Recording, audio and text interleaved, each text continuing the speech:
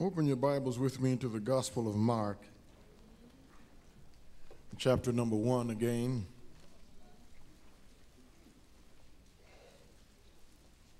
And I want to read to us from verses 23 until verse 34.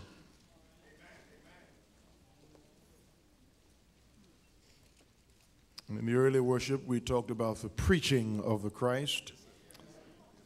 In this worship, I want to preach about the power of the Christ. In the Gospel of Mark at chapter 1, commencing in verse 23. And there was there in the synagogue a man with an unclean spirit. And he cried out, saying, Let us alone. What have we to do with thee, thou Jesus of Nazareth? Art thou come to destroy us? I know thee who thou art, the Holy One of God.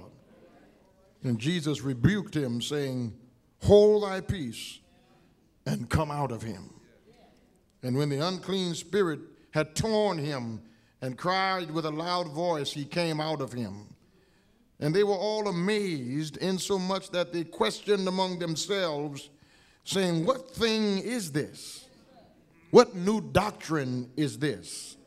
For with authority commandeth he even the unclean spirits, and they do obey him. And immediately his fame spread abroad throughout all the region round about Galilee. And forthwith, when they were come out of the synagogue, they entered into the house of Simon and Andrew with James and John. But Simon's wife's mother lay sick of a fever, and anon they left him of her. And he came and took her by the hand and lifted her up, and immediately the fever left her, and she ministered unto them. And at even when the sun did set, they brought unto him all that were diseased, and them that were possessed with devils. And all the city was gathered together at the door, and he healed many that were sick of divers diseases, and cast out many devils, and suffered not the devils to speak, because they knew him. Thank you. You may be seated.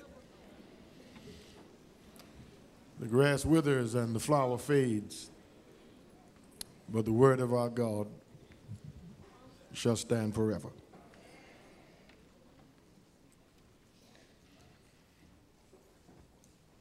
For just a moment, I want to examine this, this unusual power of our Lord.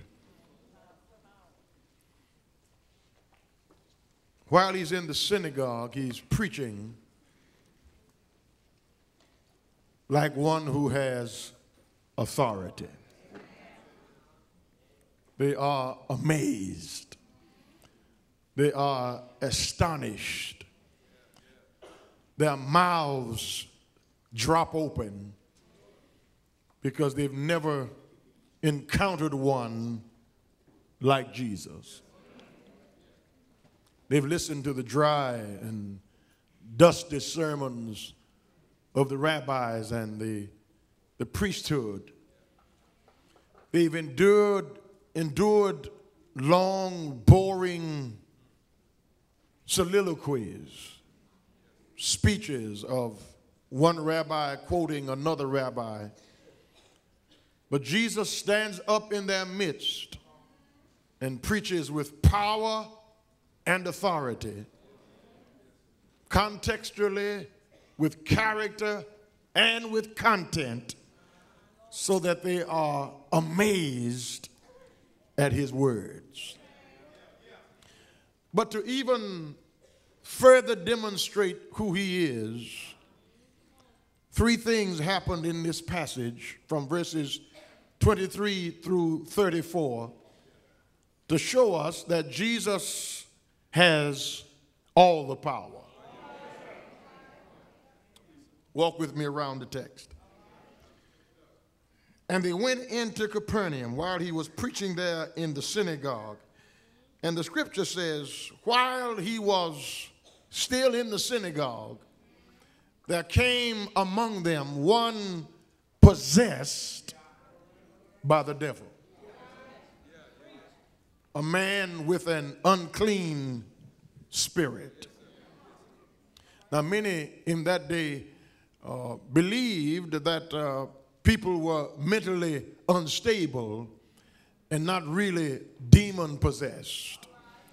They had some mental challenge or some psychological maladjustment. But the Bible calls it demon possession. And, brothers and sisters, you hear me today. There are still people among us now who are possessed of the devil. Because if you are not a believer, you are subject to do anything. And the devil can so possess you that you do irrational things, not only to yourself, but to other people. Uh, these young men who bombed that marathon the other day, that's demon possession. Uh, this rash of murders here in Houston, and the women can't be out in the street at night for fear of being raped. That's demon possession. Children who cannot obey their parents, who cannot say yes, ma'am, or no, sir, who cannot be controlled or contained. That's possession by the devil. Talk back to me if you can. The devil will take control where there is no Christ, where there's no Savior, where there is no Lord. Satan comes in to take control, and if you run him out without calling Christ in, he will come back with demons seven times stronger than the ones who left. When you don't know Jesus Christ, you are subject to be controlled by the devil. This unclean spirit had so possessed this man that it brought him to the church. That's a word to us this morning. Uh, that even the unclean spirit in that man drove him to the church. Uh, he was out of his mind, he was controlled by the devil. Jesus didn't run him off, Jesus didn't put him out. Jesus let him in because he knew what the man's problem was. And Jesus this morning still has power over demons. Uh, let's, let's, let's, let's, let's walk around the text. Let's, let's, let's look at what the scripture says. Here they are in this place. Here they are with these demons, and the demons know who Jesus is. They say, Let us alone. What have we to do with thee, thou Jesus of Nazareth? Verse 24 Art thou come to destroy us? And listen at this word of praise. I know who you are. You are the Holy One of God. But Jesus says, hold your peace. I don't want praise from a devil. I wish I had my 730 crowd. That, that word, hold your peace, means Jesus said, be muzzled. Don't you praise me, Satan. I don't want to get praise from a devil. I want to get praise from one who the devil had possessed that I redeemed. I wish I had somebody to help me right here. You missed that. When the devil praised them, Jesus said, Be muzzled. Hold your peace. Don't praise me. I don't want praise from the devil. I want praise from one who's been perfected from the devil. Y'all still miss that. Want the devil to praise me. Hold your peace. Be muzzled. Don't say another word of praise because you are a demon. I want one who used to be possessed. I'm going to run that by you one more time. Jesus is not looking for praise from the devil. Jesus is looking for somebody who's been delivered to give him some praise. And there ought to be somebody in here right now who used to be possessed. I wish I had a witness here. You, you had a drinking demon, you had a lying demon. I wish I had one or two more believers. You had a demon that kept you out all night long. You had a demon that wouldn't let you praise God. But since God has delivered you, He does not want praise from the devil, but from one who's been delivered. Uh, folk who've been delivered have no problem giving God praise. Because you're so glad to come out from under that stronghold that had you bound that you don't mind giving God praise. I wish I had one or two more witnesses. Some of y'all kind of stiff right now. I, I know you, you, you haven't had any big sins that you can really look at and claim, but, but some of us got some big stuff that we've been delivered from, that the Lord brought us through. And if God hadn't stepped in, we would have gotten killed or we could have gone to jail, or, or we could have lost everything we had. But God stepped in right on time, and we've been delivered. And you think we're going to let you or you or somebody over here tell us you're making too much noise? The Lord don't want praise from a demon. He wants praise from somebody who's been delivered. And if you've been delivered, don't let anybody muzzle your praise. Now he wants to muzzle the devil, but not the delivered. And if you've been delivered, it don't even have to be Sunday morning. I wish I had some help here. You don't even have to be in Lilly Grove. If you've been delivered, if the answer comes on a Wednesday, you ought to give God some praise. If God brings you out on Saturday morning, they ought to know on your street that somebody in that house been delivered. Yeah, he has power over demon. But then the text says he has power over minor disruptions. Because when he got through preaching, he went to Simon Peter's house.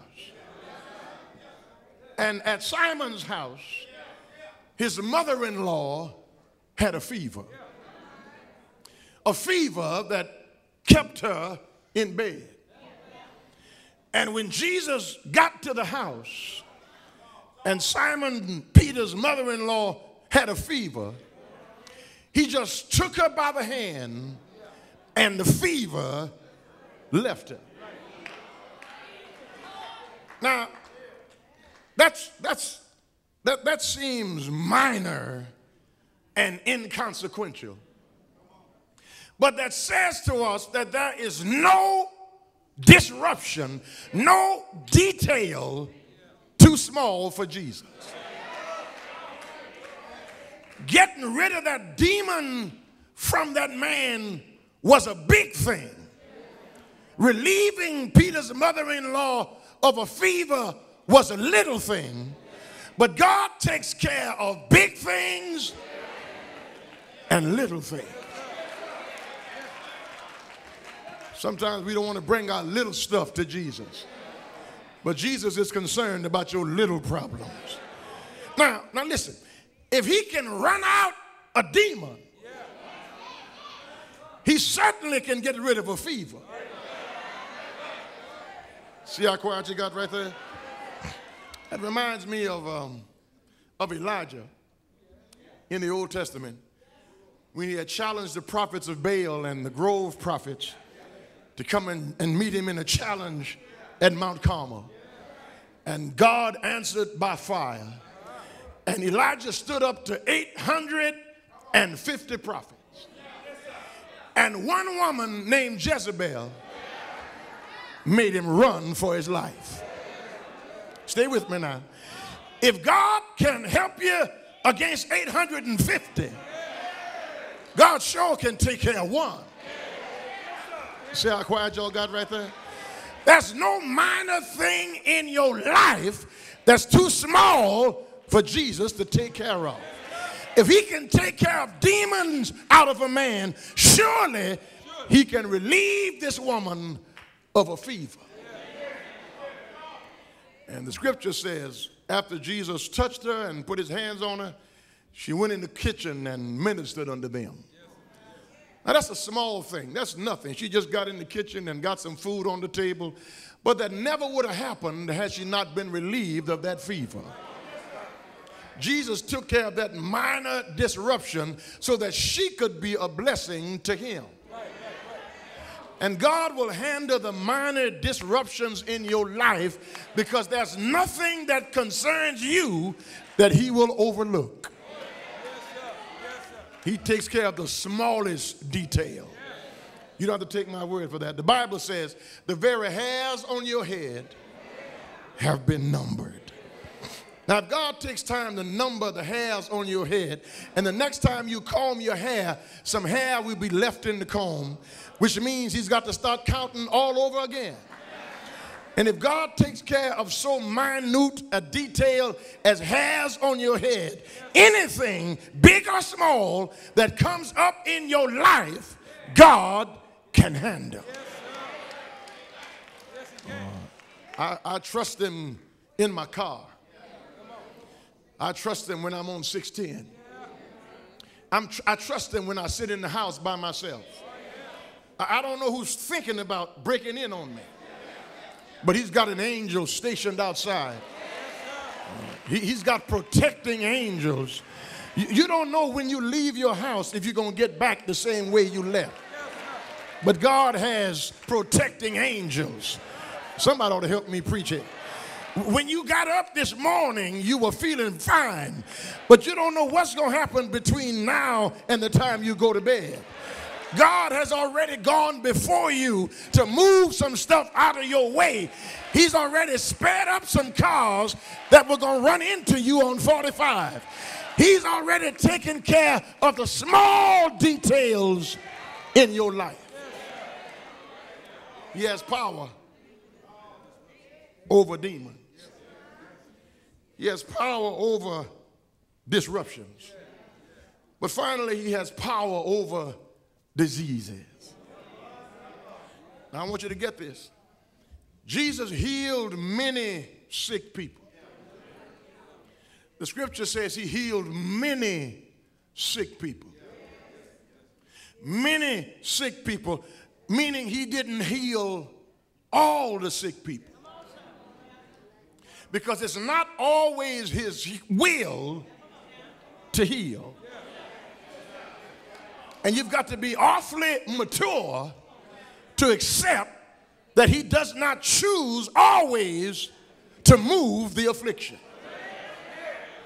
I wish I had somebody to help me testify right here. Uh, sometimes we misinterpret or misrepresent that passage of scripture in Isaiah chapter 53 that says, By his stripes we are healed.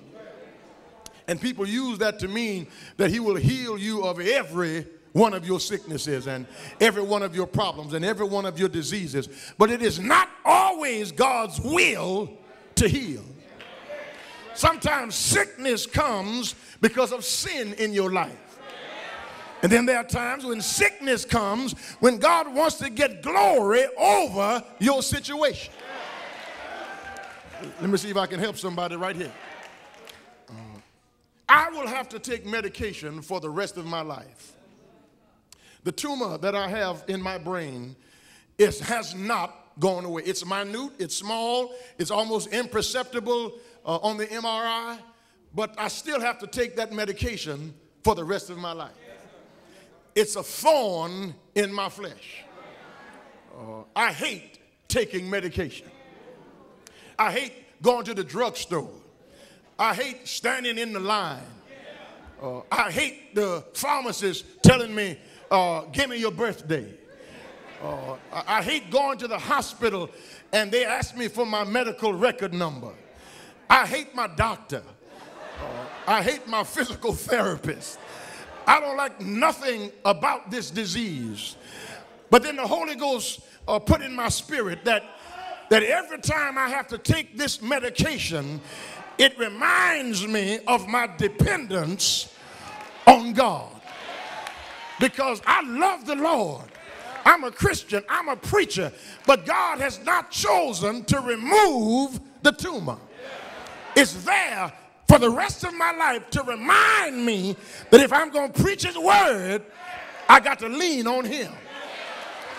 There are side effects to the medication. Uh, sometimes I get dizzy. Sometimes I have hot flashes. Sometimes I don't feel like it. But then His grace is sufficient. And even though He does not move the affliction, He gives me power in the midst of it. Somebody ought to help me preach right here. He may not get your daddy off his sick bed. He may not cure your mother of her disease. But if you got faith, God will help you go through the valley and the shadow of death. Lord, you don't have to move the mountain. Just give me the strength. I wish I had some noise right here. Somebody here is dealing with some problems in your family. Somebody here is taking care of an aging parent. And that's hard and tedious because there's a difference between visiting a sick person and taking care of a sick person. And you may have to do that for a long time, but God will strengthen you and get under your burden with you that you will be carrying it. And the more you carry it, the stronger you become. You'll be able to praise God with louder hallelujahs. You'll be able to raise God with your hands held up higher because God has victory over disease. Now, hear me. If He does not deliver in this life,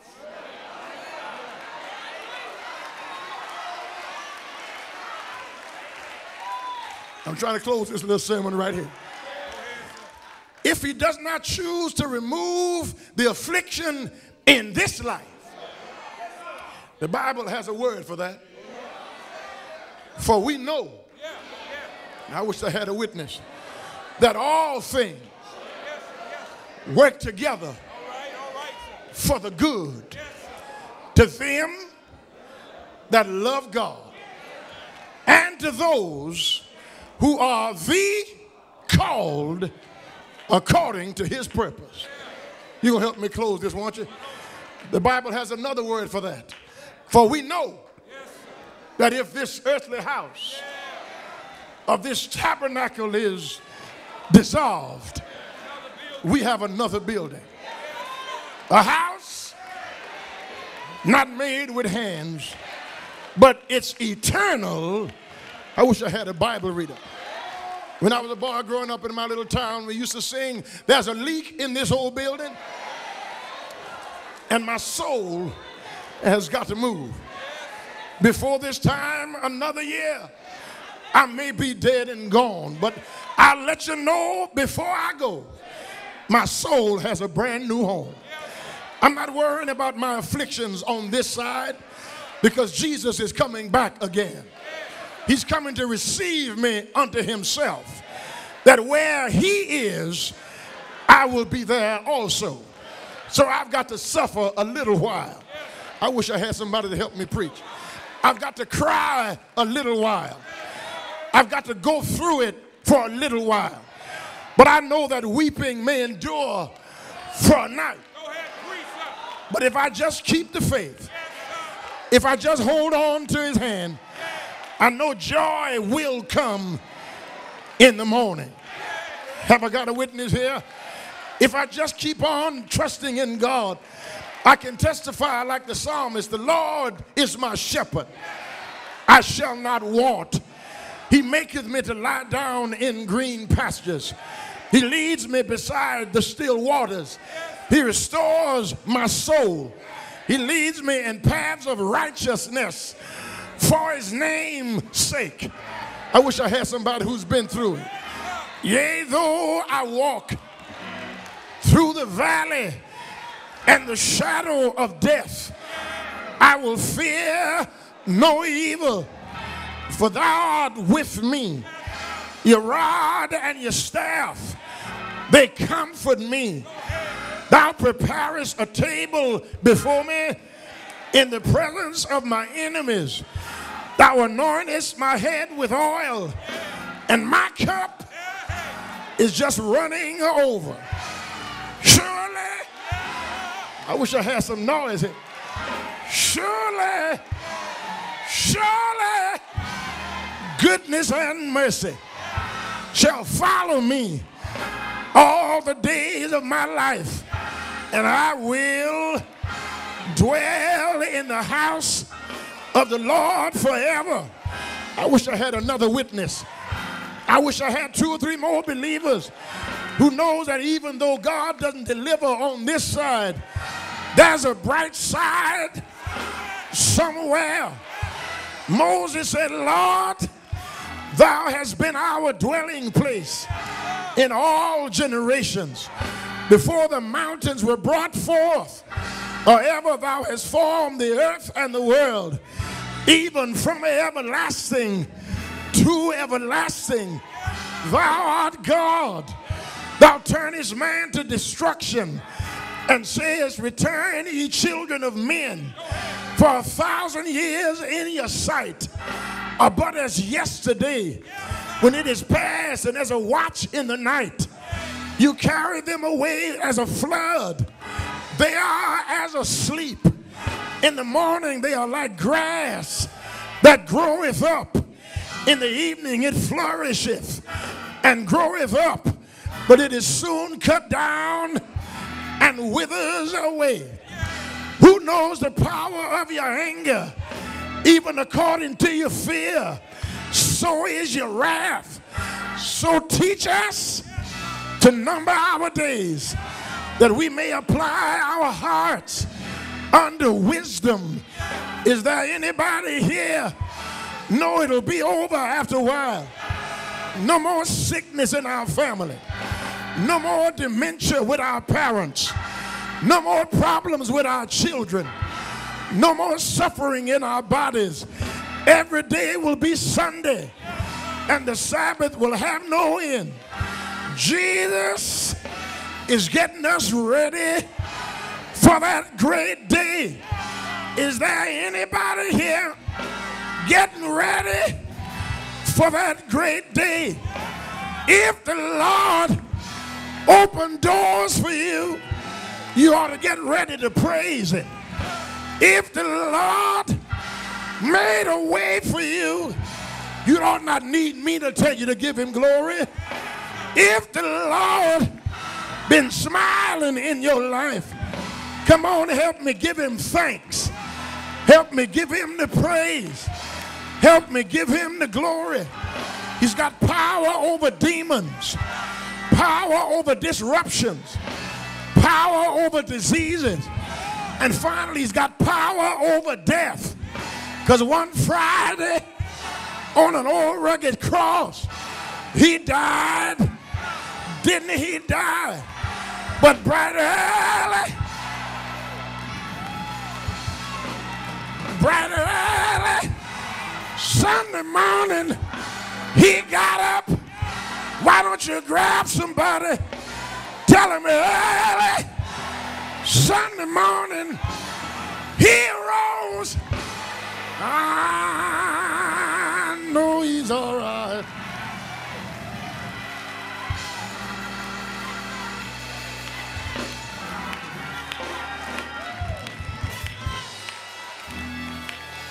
Got victory.